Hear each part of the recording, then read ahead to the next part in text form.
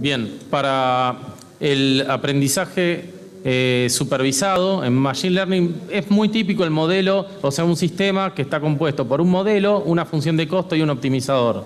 El modelo es básicamente una serie de cuentas que uno hace con los datos de entrada, por ejemplo, una imagen donde tenemos que en cada píxel tenemos un valor de RGB, y en base a esa cuenta que hace con los con, los datos de entrada me da una salida. Ahora, esa cuenta depende de una cantidad de parámetros. Y esos parámetros son los que va a hacer que este modelo funcione mejor o peor. Por ejemplo, un modelo muy sencillo es estimar el género de una persona a partir de su peso y su altura.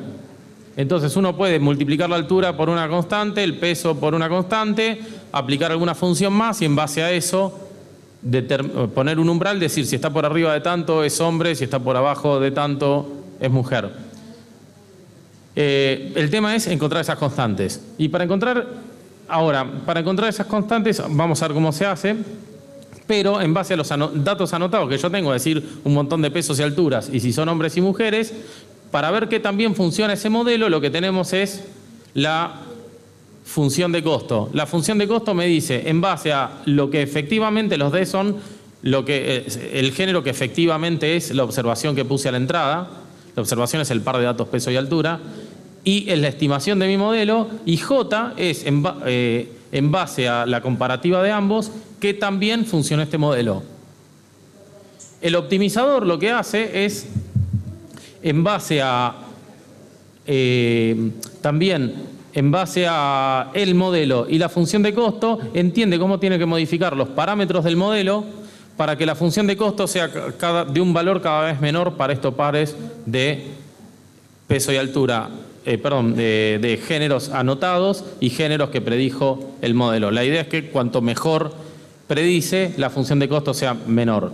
Y esa es la función del optimizador, buscar cómo variar el modelo para que el costo sea cada vez menor. La idea entonces, la idea es que si nosotros tenemos que los parámetros del modelo, este es el coeficiente por el que multiplico pesos y este es el que multiplico altura, eh, hablo de pesos y altura porque es mejor que hablar de una imagen que tiene 1024 por 778 por, 768 por 3 variables, ¿no? Pero es lo mismo. Eh, entonces, para cada par de combinaciones de esas constantes, voy a tener que la función de costo tiene un valor. Lo que hace el optimizador es entiende cómo tiene que ir modificando esas constantes para que, que se llaman parámetros en realidad, eh, esos parámetros para que el costo sea cada vez más, eh, más chico.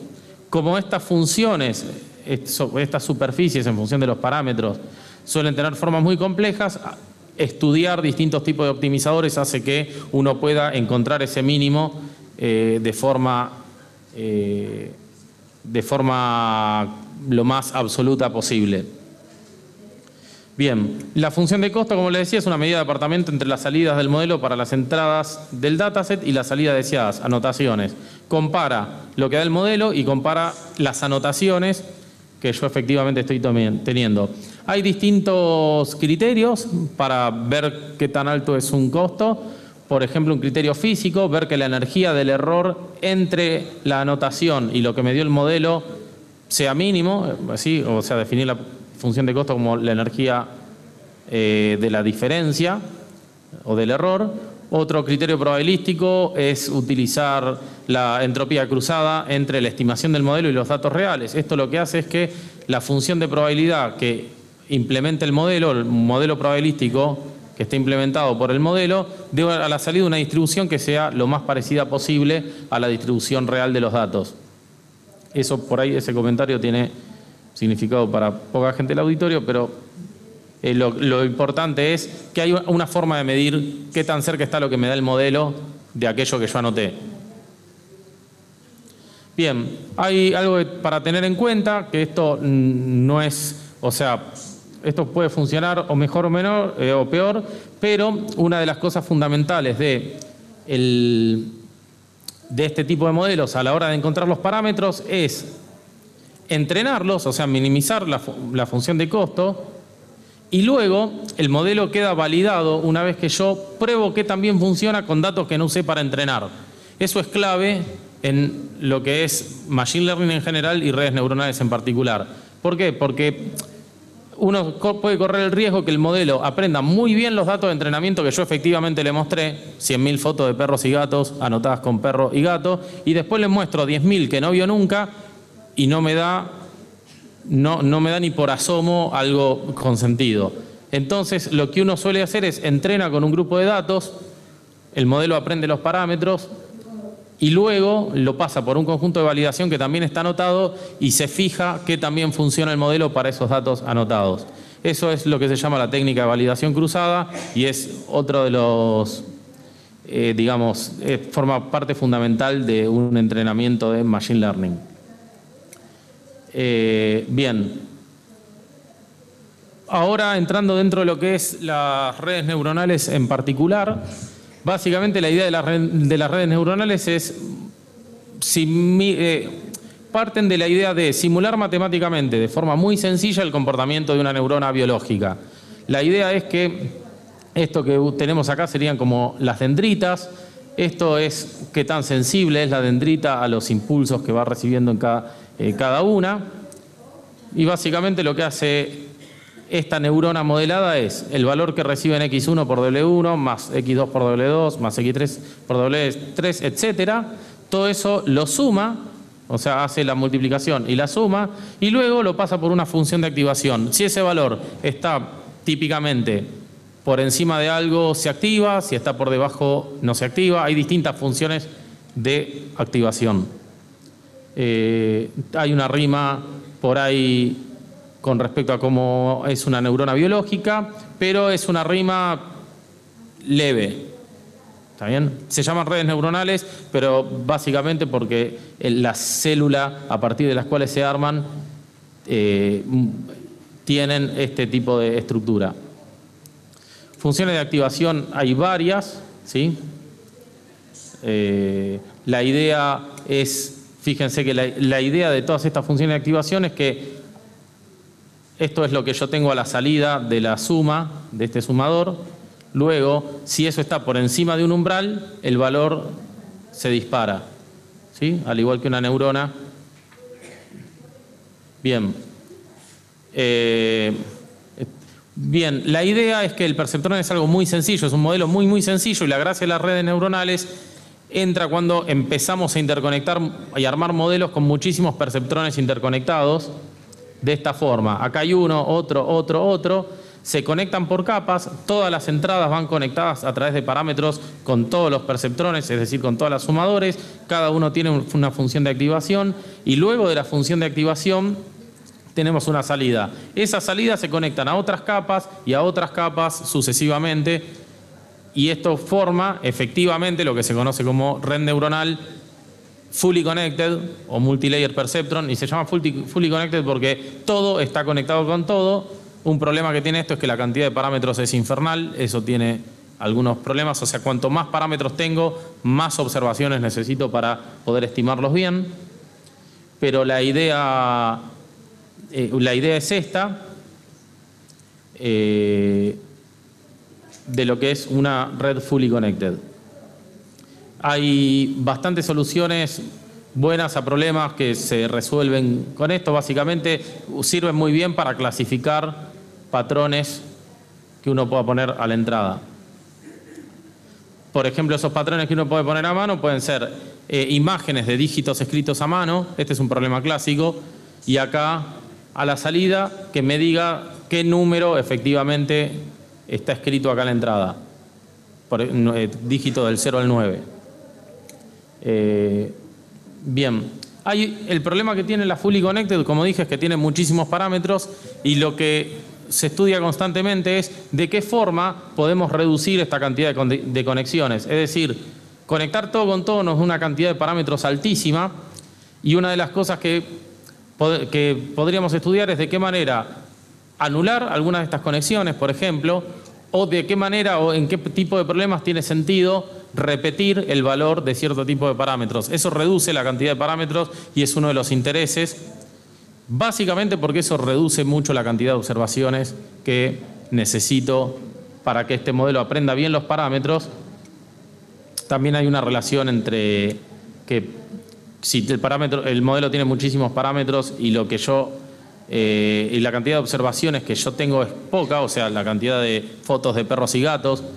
Entonces, este modelo básicamente lo que tiende a hacer es aprender de memoria las cosas que yo le puse a la entrada y no generaliza, es decir, no funciona bien con los datos de validación. Entonces, reducir la cantidad de parámetros es algo que es necesario y por eso hay tipo de, eh, de estructuras alternativas. Ese tipo de estructuras alternativas, una de ellas, por ahí les suena, eh, tiene un correlato biológico también, es la idea de, por ejemplo, para imágenes se usa, en vez de conectar todos los píxeles con todas las neuronas, básicamente se conectan muy poquitos píxeles a cada una de las neuronas. ¿sí? Básicamente, eh, eso se puede modelar como una operación de convolución. Para los ingenieros presentes es una operación que seguramente conocen. Entonces se hace la convolución en vez de conectar todo, que, que una convolución está definida por muy poquitos parámetros y procesa todos los datos de la entrada. Se hace una convolución entre la imagen de la entrada y una serie de filtros.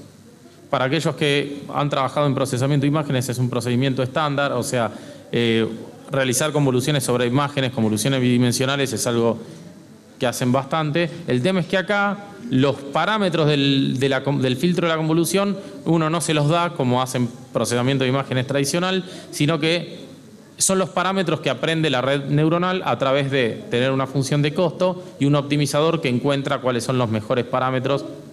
Y en base a eso, las convoluciones típicamente, básicamente lo que hacen es, encuentran pequeñas características dentro de la imagen. Por ejemplo, eh, bordes verticales, bordes horizontales, bordes diagonales, etc. Luego, lo que tengo de hacer esta convolución es un mapa que me dice cada una de esas características que estaba buscando cada uno de los filtros, dónde hay. O sea, por ejemplo, acá, en esta zona de acá voy a tener detectar bordes verticales, ¿sí? típicamente cuando le ponga un 1 acá, y básicamente acá voy a tener detección de bordes verticales. Sobre esas detecciones se arman, se buscan detectar nuevos patrones en forma recurrente y la imagen queda representada ya no por sus píxeles, sino por dónde aparece, o sea, cada uno de estos representan patrones complejos de la imagen de entrada y en qué lugar de la imagen de entrada esos patrones están presentes. Luego, eso, eso que en definitiva termina siendo un número que representa para este patrón donde hay, está fuerte cada una de las características complejas que detecta, eso se pasa a una red fully connected que lo que hace es termina de hacer la clasificación. Eh, estas redes lo que tienen es que funcionan muy bien para todos los problemas que están relacionados con imágenes. Otro tipo de redes eh, son también modelos matemáticos que son muy similares a la Fully Connected que vimos. La Fully Connected sería esto de acá, tengo la entrada y tengo mi salida, solo que ahora, entre cada vez que le muestro una foto de un perro o un gato, por ejemplo, y que hace la clasificación, no solo me da la salida, sino que se guarda un estado para... Este estado me indica qué cosas tengo que tener yo en cuenta para hacer la próxima, la próxima clasificación que haga. Por ejemplo, si yo estoy procesando video, para saber, por ejemplo, acá yo entro con imágenes de un equipo de básquet que está jugando y yo lo que quiero saber es si está en ataque o en defensa. Bueno, mirar cada una de las imágenes por separado por ahí no me da una buena información, pero por ahí ir clasificando frame a frame y pasar información del frame anterior al frame posterior eh, me puede dar mucha más información a la hora de clasificar si está en defensa o en ataque. Así, así por ejemplo, también si uno analiza los, eh, los eh, slices de una resonancia y va entrando con cada uno de los slices y sabe que hay una relación entre cada uno de ellos, para detectar, para resolver un problema de segmentación, me puede llegar a ser útil ¿sí? tener, poder combinar todas esas imágenes una con otra. ¿Está claro? Eh, entonces también una red de este tipo, que básicamente la idea de estas RNN eh, que se llaman recurrentes, y se llaman recurrentes porque básicamente cada vez que la uso hay una tomo información del pasado que generé en el pasado, no como antes que era un modelo que yo le daba una entrada, me daba una salida y cuando le da la próxima entrada, la siguiente salida no tenía nada que ver con lo que hice en el paso anterior. Eh, estas redes se utilizan muy bien también para, eh, básicamente sobre series temporales. Y dentro de las series temporales uno puede pensar en electrocardiogramas, eh, puede pensar también, se utiliza muchísimo en texto, en procesamiento del lenguaje natural. Se utiliza, es, este tipo de redes es la que se utiliza, la que utiliza hoy en día Google para hacer traducción cuando ustedes entran a la página todo lo que está vinculado a series temporales, todo lo que sean señales eléctricas, eh, texto, video, etcétera, tiene sentido usar este tipo de redes. Bien, entonces, básicamente la idea es que las redes neuronales no son nada más ni nada menos que modelos donde uno hace cuentas a partir de la entrada para obtener una salida y esa cuenta depende de una cantidad de parámetros y lo que tenemos son optimizadores que entienden cómo encontrar esos parámetros que, minimizan la función de costo. La arquitectura de cada red neuronal están estudiadas y algunas arquitecturas son mejores para resolver un tipo de problemas que otros. Problemas eh, típicos de redes neuronales son para clasificación de nódulos pulmonares en tomografías, hacer predicción de Alzheimer en resonancias, Sí, eh, yo tengo una tesista que está trabajando en esto en su proyecto de final de grado. Eh, bien, eh, lesiones de piel, voy a mencionar algunas por una cuestión de tiempo. estudio de electrocardiogramas, hacer detección de QT largo. Acá se pueden detectar latidos nodales, ventriculares, auriculares. hacer una estimación mirando eh, bueno, eh, perdón, eh, mirando cómo es o estudiando cómo es la imagen de un tumor, ver cuál es el tiempo de supervivencia de un paciente. Eso para clasificación, para detección se pueden utilizar para hacer conteo de células. Le doy una imagen, me dicen cuántas células hay dentro de esa imagen. la ubicación de landmark, de punto de referencia en imágenes médicas. También funciona muy, muy bien para segmentación de imágenes médicas. Por ejemplo, tengo una resonancia y quiero saber en qué lugar de esa resonancia se encuentra el, vaso, porque resulta que quiero hacer algún tipo de incisión sobre el mismo. Eh, muchas de las redes neuronales que se conocen hoy en día, o, de las arquitecturas de las redes neuronales que se conocen hoy en día, eh, evolucionaron y fueron posibles en, gran parte, por ejemplo, las redes de segmentación que se utilizan hoy en día, muchas surgen de problemas de segmentación de imágenes médicas, que ahora por ahí se utilizan para otras aplicaciones fuera del campo. Yo lo que dejo, por una cuestión de tiempo, un link donde hay una lista brutal de aplicaciones de redes neuronales, si a alguno les interesa, no solo una lista, sino con los papers de referencia, no solo las aplicaciones. Dejé el link, si se bajan esta presentación, este link es cliqueable. ¿Está bien? Bueno, eh, básicamente, para cerrar, eh, la idea de esta charla es quedarse con el concepto de que básicamente detrás este, de que este sistema es un sistema bastante sensato, uno modela, entiende que también modela y busca cómo mejorar el modelo, el modelado que uno puso acá, como para hacer un poco de, contrapunto con respecto a la idea que hay de lo que es inteligencia artificial, redes neuronales, Skynet eh, y todo eso. ¿Está bien? O sea, son modelos. Sí, en eso es lo en, esto, en este tipo de cosas es lo que consiste el 90 y largo por ciento de las aplicaciones de redes neuronales. ¿Está bien? Bueno, eh, finalmente solo resta agradecerles por el silencio y la atención. Gracias.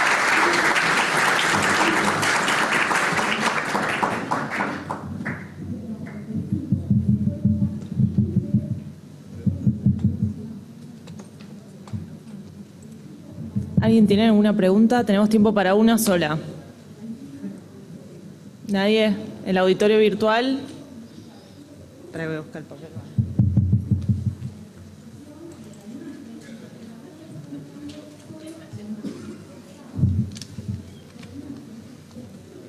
Bueno, seguimos con la siguiente presentación. Ramiro Albreu, que nos va a presentar IAN Salud, ¿dónde estamos?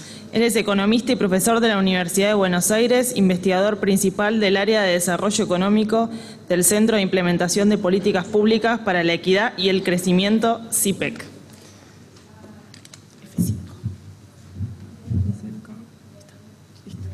Eh, bueno, buenas tardes. Eh, soy bastante outsider acá, no solo por la corbata, sino por la profesión y demás. Les cuento, por ahí saben que es CIPEC, por ahí lo conocen, pero somos un think tank, bueno, el think, tank argentino de políticas públicas. Y en particular, eh, mi trabajo con IA tiene que ver con proyectos que tenemos que tiene que ver con cómo cuestiones de contexto asociados a cómo se aplica inteligencia artificial. Eso hay un proyecto muy grande que estamos liderando en el marco de lo que se llama el T20, que son los think tanks del G20, ¿no? Cuando los políticos toman decisiones, nos piden cosas y ahí tenemos ciento y pico de investigadores trabajando sobre cómo IA impacta en la economía. Y en particular es muy interesante que voy a robar algunas cosas de eso. Tenemos una, una task force que lo que hace es, va más allá de la economía y discutimos gente de distinto palo, digamos así, soluciones de IA específicas. Entonces, un gobierno se presenta, tiene un programa piloto y nos pide como asesoramiento. Entonces, cae un equipo que es una mezcla de cosas, en el sentido profesional, ¿no? Entonces, estudiamos al mismo tiempo privacidad, identidad digital, efecto en el empleo, ¿no? Y también nosotros aprendemos algo que no existe todavía, que es la ciencia, ¿no? Detrás de esto. O sea, la ciencia general. Sabemos de, por ahí de tecnología, pero no sabemos cuestiones de contexto. Sabemos contexto, no entendemos tecnología y demás. Ustedes no lo ven, pero hay un hermoso reloj ahí, gracias. Siempre estoy mirando ahí. Bueno, entonces, eh, yo les voy a hablar más en general y después más en particular de la presentación de Carlos y voy a complementar buena parte de lo que vos dijiste porque voy a dejar la parte técnica un poco de lado y a discutir un poco más qué pasa con implementaciones. Para eso mi definición de IA incluso va a ser un poco distinta, pero porque trata de pensar un poco más cuando se instala un sistema de IA. Cómo opera, qué necesita, qué no necesita para funcionar. Entonces, lo primero sobre definiciones, yo creo que acá hay una frase muy general, que es larga aparte, para esta hora, pero dice, mucha gente dice estamos viendo una revolución y qué sé yo. Y yo digo, mirá frases de este estilo. Acá dice, a veces pasa algo que está asociado a una técnica industrial y todo cambia, ¿no? la forma en la cual trabajamos, la forma en la cual pensamos, el arte, la literatura. Estamos en el medio de eso. O sea, si hay gente dice que no es una revolución, yo siempre pienso en esto. Piensen hace 10 años la tecnología que usábamos en nuestra vida diaria y la que usamos ahora. Piensen cómo tomamos decisiones, cómo interactuamos con esquemas digitales que toman decisiones por nosotros. Eso no existía hace re poquito y ahora nos parece lo más normal del mundo. Ahora, más en particular, yo cuando defino IA, yo lo defino como estas tres patas, ¿no? Eh, yo entiendo la discusión sobre IA referido a discusiones de capacidad cognitiva o recreación de capacidad cognitiva humana, pero para mí eso nos lleva a un problema y es que nosotros venimos discutiendo de IA mucho antes de esto, de que existan aplicaciones y entonces estamos hablando de si vamos a tener un Android al lado nuestro y no tiene nada que ver lo que estamos discutiendo. O sea, no tiene ni un poco que ver. Tiene tanto que ver como un avión y un pájaro. O sea, a alguien se le ocurrió un avión pensando en un pájaro. La teoría computacional de una persona no la conocemos. yo creo que ahí hay que salir y ver sistemas. Los sistemas tienen estas tres patas, ¿no? Tiene una pata de poder computacional, dispositivos digitales, nube y demás que está allá. Tiene una segunda pata que son muchos datos. Si algo cambió ahora, más allá de la discusión algorítmica, es la cantidad de datos que tenés para, poder probar, entrenar, explicar a esos algoritmos. Y tercero, las personas. O sea, hay una idea acá de que cuando uno habla de IA parece que es una especie de desplazamiento, ¿no? Ahora le toca a una máquina lo que hacíamos nosotros. Y hay, muy poco de eso. Hay, hay una parte en qué sentido, en que sectores como el que están ustedes y los sectores financieros crecieron mucho por muchas décadas sobre la base de acumular información, papeles e información. Bueno, eso es lo que eso es lo que va a empezar a dejar de existir, ¿no? O sea, son sectores muy grandes sobre la base de procesar información. Sabemos que eso lo hace mejor una máquina. Dicho eso, cualquier sistema de IA necesita críticamente personas, alguien que le dé el dominio. Como, como vimos antes, O sea, ¿quién se hace las preguntas?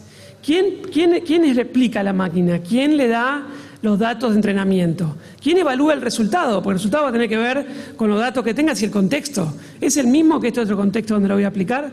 Entonces, yo cuando veo sistemas que no funcionan de IA, es porque no tienen la pata de personas. Traen un sistema de afuera, lo aplican en un sector, en un negocio específico, ni te preguntaste cómo están estructurados los datos, olvídate, no va a funcionar. O sea, ¿quién le hizo las preguntas? Por un, tener un programador joven vas a resolver un proceso eh, de negocios que vos tenés en tu sector. No existe eso. ¿no? Y eso se ve mucho ahora, que hay un, como un hype con esto, aplicado, no te funciona el sistema, y que los sistemas tienen tres patas y las tres tienen que estar bien armadas. Y si no tenés el dominio, acá abajo, las preguntas, el propósito, la explicación, la interacción con la máquina, ¿no? el, chequeo de lo que te da la máquina, y decir si lo usas o no el resultado de la máquina, eso lo hacen las personas. Nunca se lo des a una máquina. Pero es importante entender que es como una, un sistema de tres patas. Bueno, así como lo ve Microsoft, by the way. Pero digo, para que, para que lo piensen.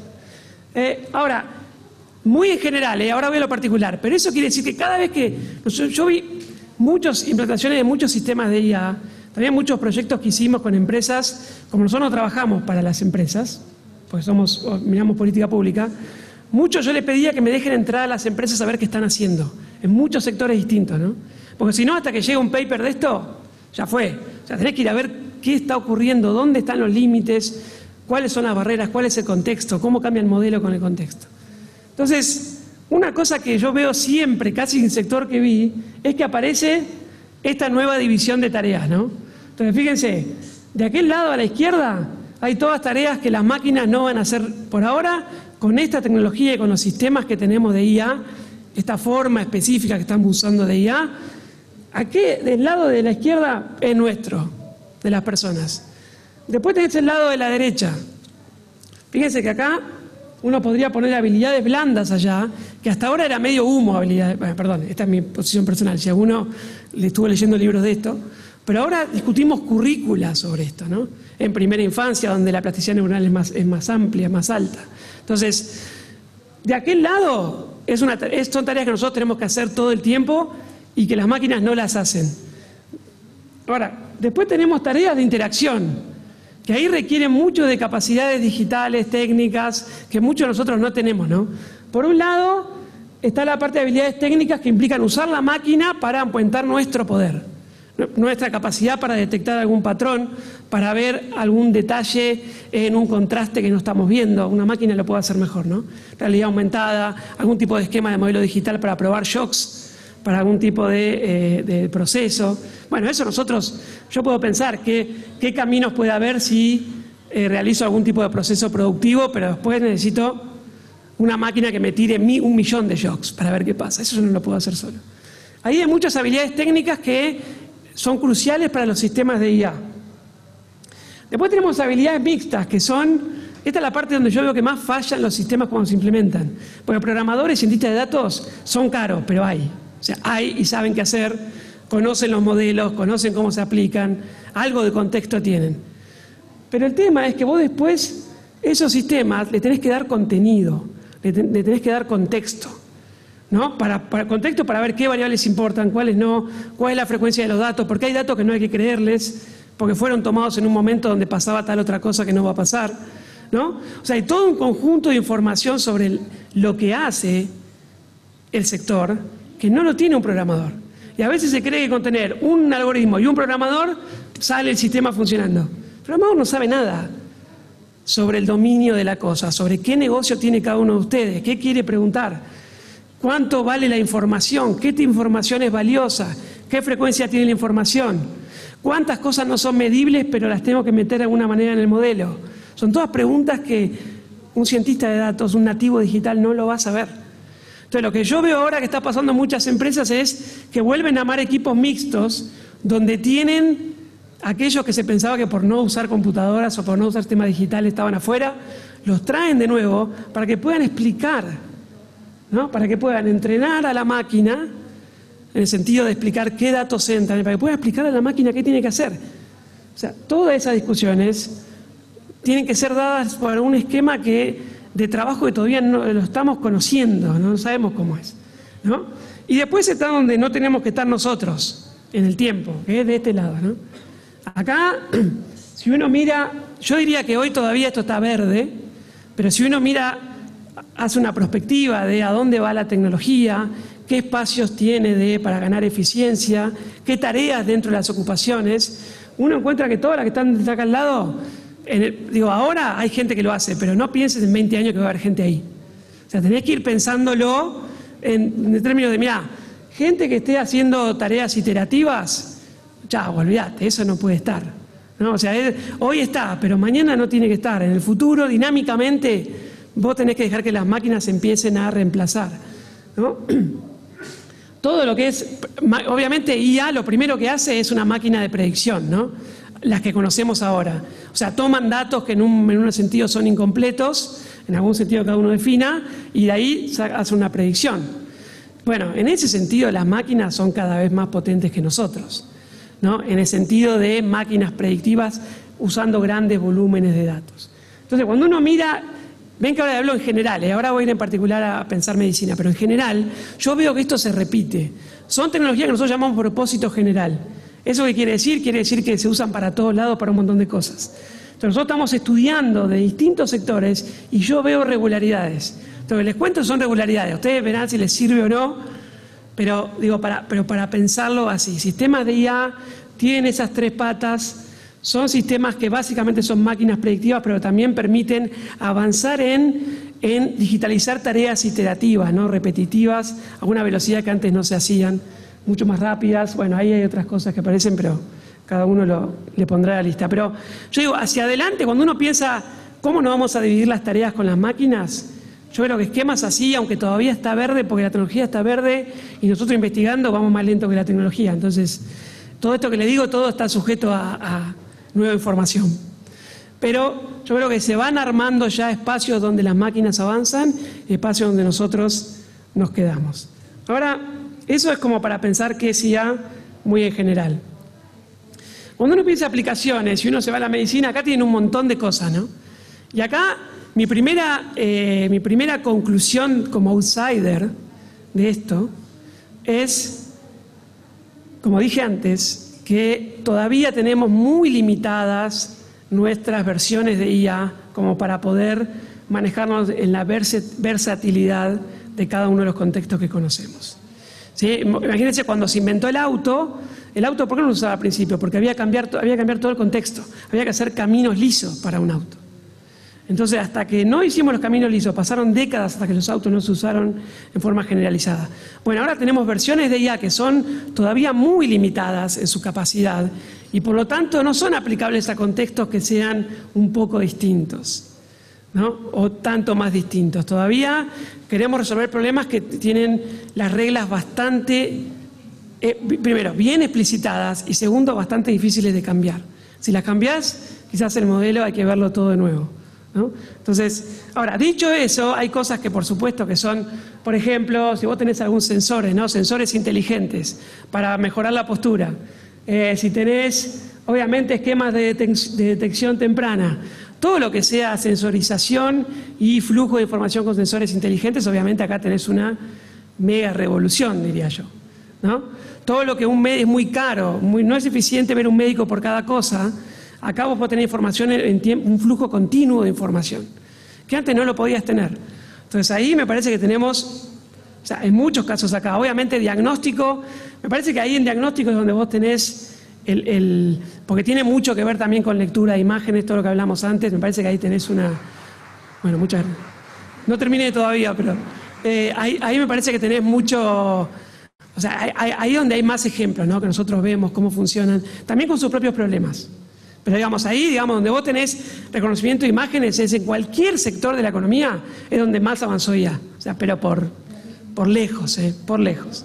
Entonces ahí tenés muchas cosas que ustedes ya conocen para discutir y creo que ahí es donde tenés muchas tareas. Acá de nuevo, conectado con lo que pensaba antes, uno tiene que pensar qué, cómo nosotros nos vamos readaptando a esas tecnologías, ¿no? Entonces, quizás médicos que hacen, hagan diagnóstico todos los días no es lo que vamos a tener. Seguro que no lo vamos a tener. Quizás los que trabajen con enfermedades raras o con casos donde ya sabés que los datos de entrenamiento no fueron. Los de ese paciente son atributos de ese paciente, es donde un médico tiene que aparecer, para corregir a la máquina. ¿no? Pero entonces fíjense cómo nuestro rol tenemos que encontrarlo de nuevo, ¿no? Porque en estas cosas me parece que las máquinas, si bien todavía están verdes, para mí la tasa a la cual van ganando, se van adaptando y son maleables, ¿no? Los sistemas, es, es muy amplia. Entonces, obviamente en investigación tenemos mucho, ustedes por ahí trabajan en eso, pero de gemelos digitales, esto que decía antes, ¿no? Para choquear sistemas antes de probar con algún paciente, ¿no? Es, bastante obvio, y ahí también se avanzó mucho. Bueno, y hay muchas cosas más que, después por ahí si hay pregunta podemos contarlas. Pero yo quiero detenerme a dos cosas, como para bajar un poco el, el, o por lo menos para ver qué tenemos que hacer para que estos sistemas funcionen, desde mi punto, mi modesto punto de vista. El primero tiene que ver con los requerimientos. ¿Qué necesitan los sistemas de IA para funcionar? Necesitan seguro algún tipo de esquema, algoritmos, necesitan poder computacional, necesitan ver cómo te conectas a la nube, un montón de requerimientos técnicos. Pero eso no es solo. el principal límite que veo yo es la ingeniería de procesos que vos necesitas. O sea, no por tener un sistema nuevo, vos vas a implicar que vas a cambiar el desempeño o el resultado de lo que vos haces si vos no cambiás los procesos. Por ejemplo, lo primero que tenés que hacer es tener, pensar qué parte de tus tareas son ricas en datos. ¿no? ¿Qué, parte de tus tareas son entornos ricos en datos? Y ahí tenés que trabajar con sistemas de IA. ¿Y qué parte no? Y ahí tenés que trabajar con recapacitación. ¿no? Entonces acá, las mismas tareas que ayer con una tecnología distinta no te va a dar un resultado mejor. Muy en el margen. Estas tecnologías son revolucionarias porque en realidad permiten que vos pienses todo el sistema hagas una reingeniería completa. Digo, primero esto de dónde puedo crear entornos ricos en datos y dónde no. ¿Dónde importa más, por ejemplo, los trades? O sea, no sé, un médico en la India importa mucho cómo se relaciona con una persona, porque no es como acá, que vos vas a cualquier lado de la India. Yo voy a buscar a mi médico de mi pueblo en la India. Entonces, hay que discutir un montón de cosas. Hay lugares donde se uno puede crear entornos ricos en y lugares donde no. No hay forma de hacerlo y ahí entonces el médico tendrá que ser distinto del médico que tenemos acá.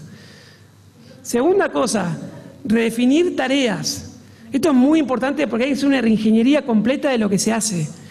¿no? que, muchas veces hay que simplificar tareas para que puedan ser un dato. No todas las tareas que se hacen generan datos, pero se pueden fragmentar. Entonces, una parte de las tareas son datos y otra parte no, y esa parte va para el médico o para la persona que esté trabajando con la máquina.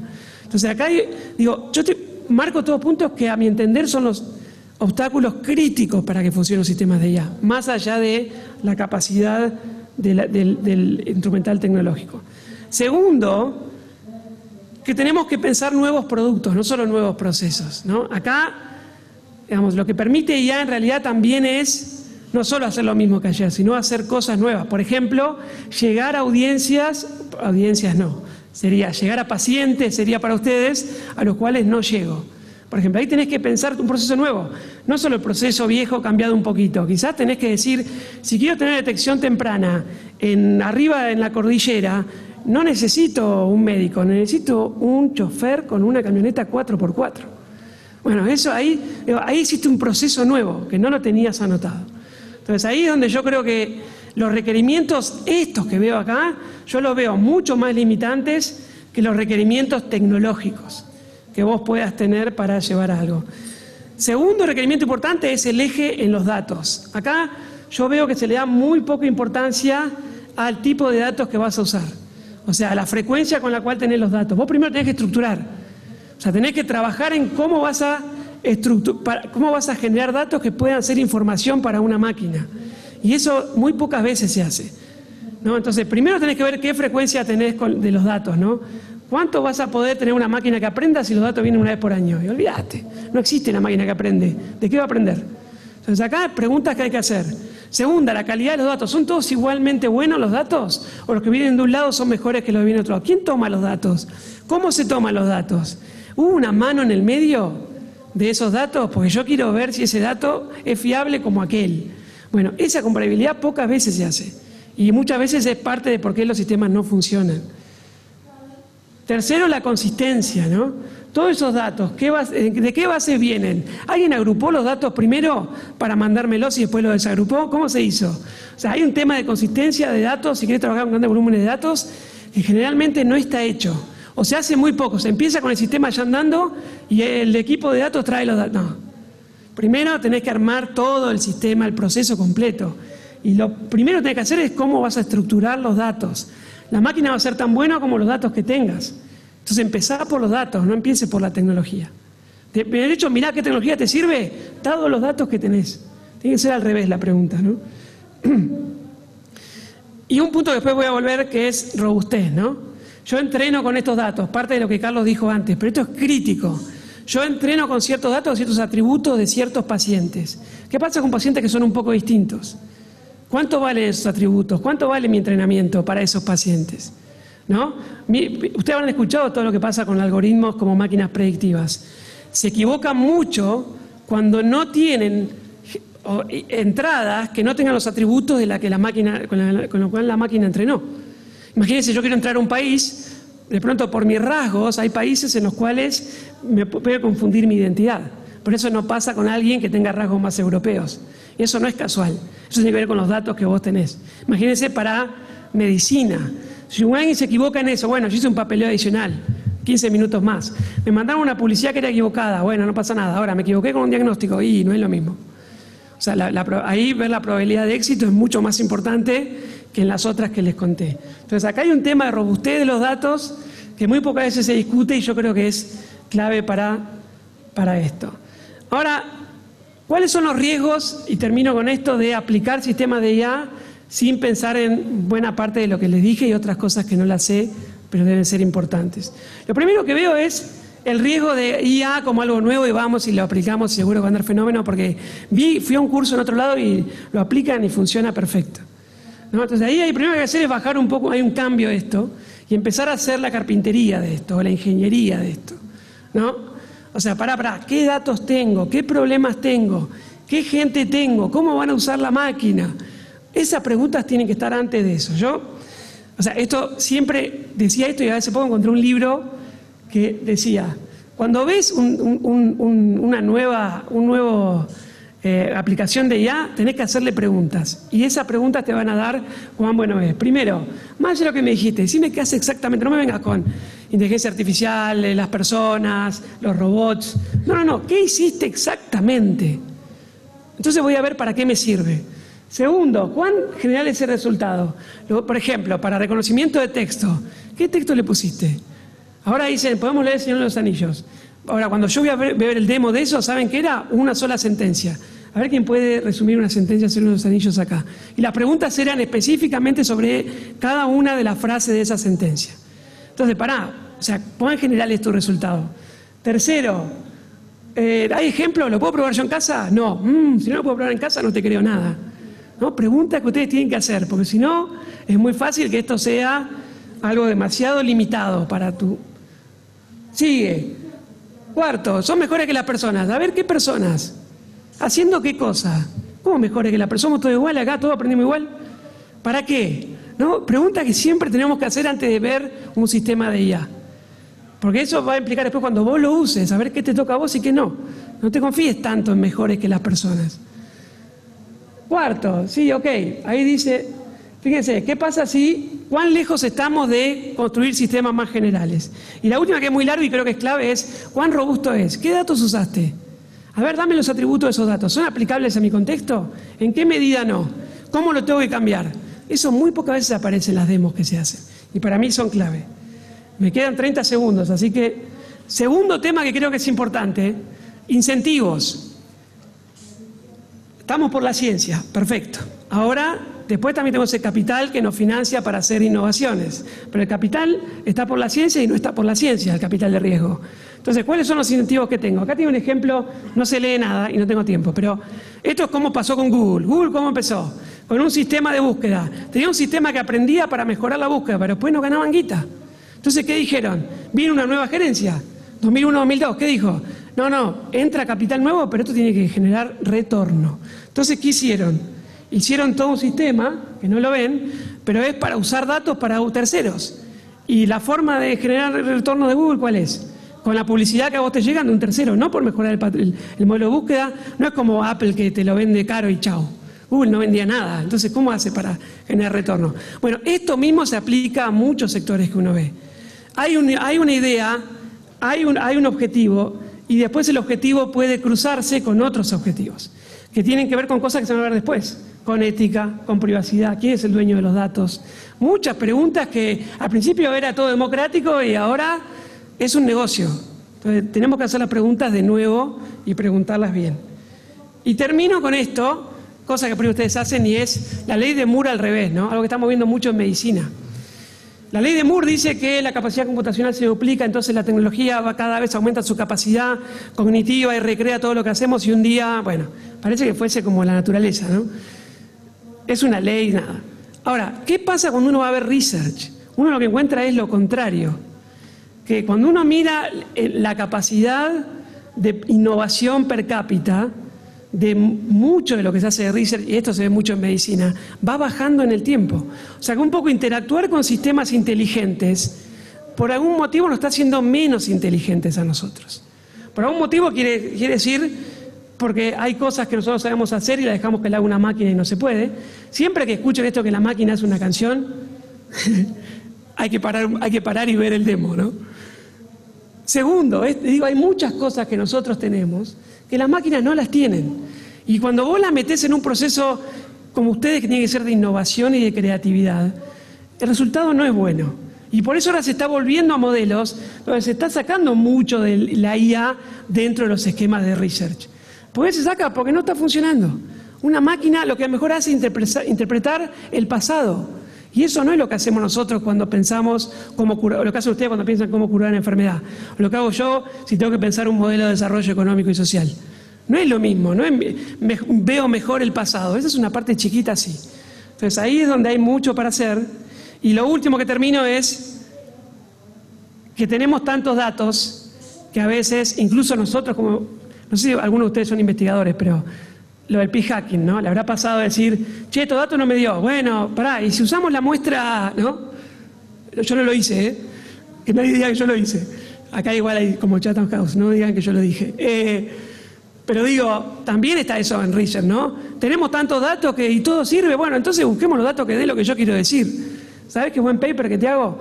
¿Cuánto hay de eso alrededor nuestro? Entonces, todo esto son riesgos que tenemos que empezar a trabajar. Y ahí la política pública, y ahí cierro con lo que hace CIPEC, tiene un rol clave que cumplir. Termino por acá.